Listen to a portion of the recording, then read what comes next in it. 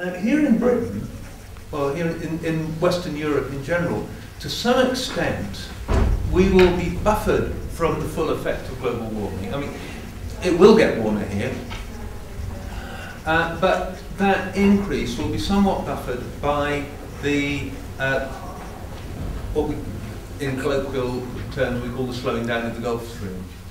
In other words, that warm current which comes up across the North Atlantic and gives up an incredibly mild climate. If you look at other places on the same latitude, you know, our, our climate is much warmer than theirs.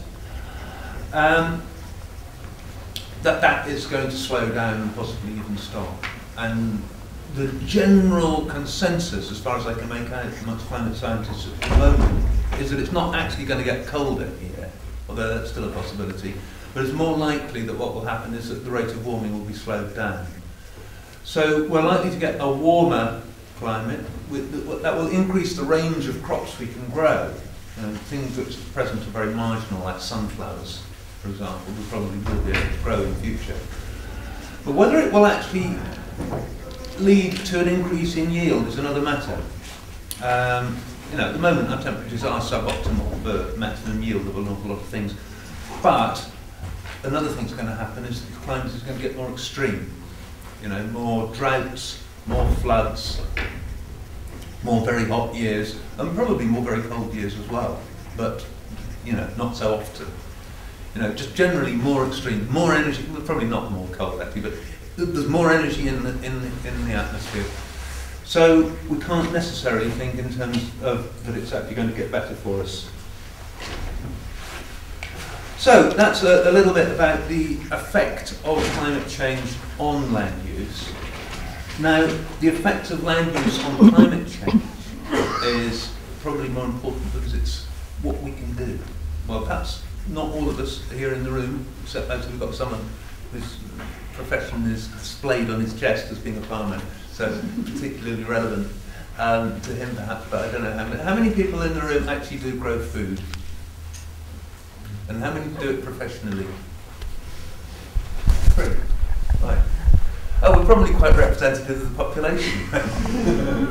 no, probably a bit few more producers than there would be otherwise.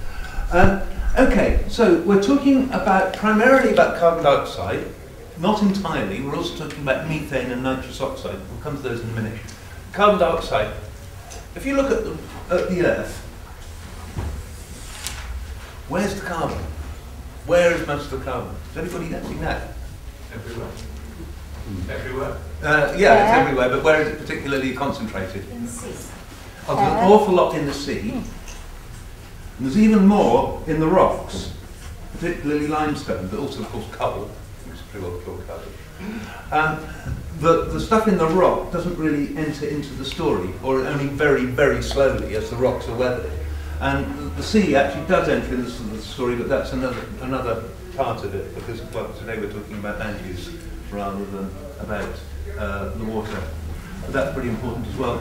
But if you look at the surface of the Earth, in the atmosphere and the soil, it's actually relatively little in the atmosphere compared to what there is in the soil and the plants.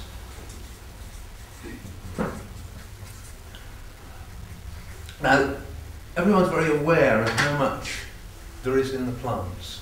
You know, we, we, we think in terms of deforestation as being one of the ways in which a lot of extra uh, carbon dioxide is released from the solid phase into the gaseous phase. And of course that's what we're intending to do, to try and reduce the amount that is in the gaseous phase. That's what the whole carbon cycle, uh, that's how we're relating to the carbon cycle in general. So we don't want to burn up the plants which are storing it. Um, we don't want to uh, lose the Amazon rainforest. But what is somewhat less known is that there's actually more in the soil than there is in the plants. If you look at all the plants the whole world, the amount of carbon in that, represent that by one, there's three times as much in the soil. And it's very easy to lose carbon dioxide, that's carbon from the soil. What, what happens, as you all know, is photosynthesis takes place in plants. They take carbon dioxide from the atmosphere and turn it into complex carbohydrates within their bodies. And then we get it, and other animals get it from eating plants. Then as the plants die or we die, we rot down and we become part of the soil organic matter, the humus. Well, it's not all humus, but ultimately it's humus. And that is the biggest store of transferable carbon on land. And that is something that we really need to concentrate on in terms of land use.